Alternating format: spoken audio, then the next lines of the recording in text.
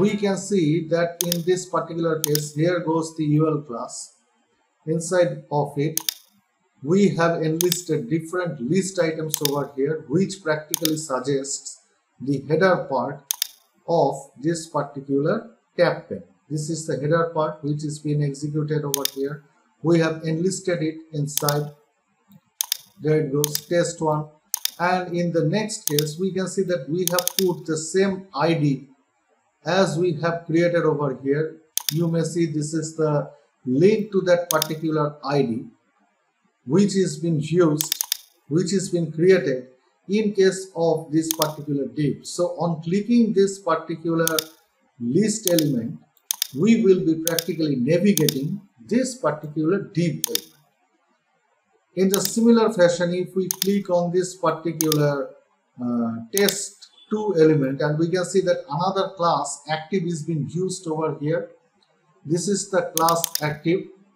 That means on loading of this particular page you can see that test2 is the first header element which is being executed and the corresponding content of this particular test2 this should be pre-selected while the page is being loaded this is the first thing that we are going to so we have placed over here this class of active. If instead of here we put we use this particular class in case of this particular element here as we can see that this is the fourth tab element where we have defined this particular class active. So if we now get back to our project and reload we can see that test 4 is in actually the highlighted header element which is being loaded which is being pre-selected on the loading of this particular page. So this is how you can make use of this class active over here. Now, there goes the problem. The first thing we need to check it on into various responsive devices such as if we press Ctrl Shift M, there it goes. And this is the tab pane that we have practically created by this one. Another thing, we could have replaced this test for everything inside of it. So in an order to do so, first of all, get back to the larger desktop preview and here we will be using this particular text. So there it goes. This is the content part where we need to make some kind of uh, modification. We are making all these kind of modifications over here. There it goes. Uh, we have changed this particular content of this particular div with an id of test1 which will be navigated on clicking this particular list element in the similar fashion we are going to change each and every of these contents here. There it goes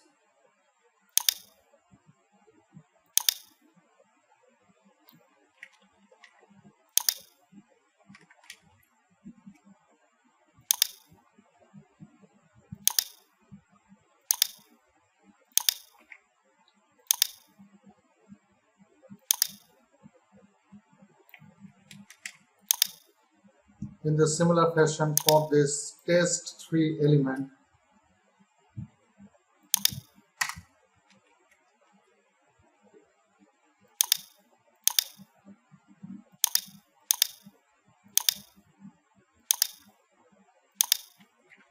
And in case of this particular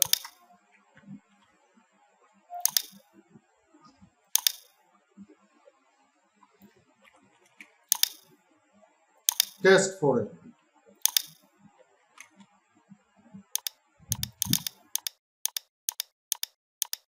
So we have practically changed all these contents to test whether they are working for each and every uh, resolutions or not. This is the main objective to change all these contents because in actually we'll be using uh, some kind of content inside this particular tab and some kind of link or content or anything that we are going to use over here. So we need to check on whether they are practically working perfectly well in case of every responsive devices or not. So that is why we have changed it. Let's get back to our project and reload. And we can see that this is the case in the first case where we have practically changed all the contents in case of test 4 for test 1 this is the content for test 2 this is another content and this is the test 4 element and you can see that you cannot make use of this disabled tab. So that is why in case of this test 3 element this particular content you can never perhaps observe over here. Now it's time for some carbon test. We are getting back to our responsive design. Press ctrl shift m. And you can see that everything is practically working well everything is now fit into the lowest possible device width of a mobile responsive design. Swap it. Now you can see that in this particular case it is working too. In case for this 768 pix it is working no problem. For this 640 pix it is working there's practically no problem so we can conclude this, that so far we have made a good usage of this particular tab pane.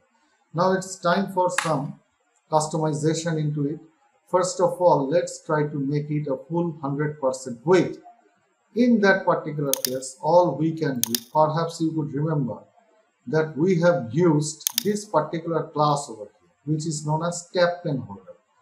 So in the very first case we are going to do, we are going to make a width of 100%. Then we are going to create a background property of, for say this one. So let's check whether it is working or not. Let's get back to our project and reload and we can see that it is practically working. It is now a 100% device width and everything right now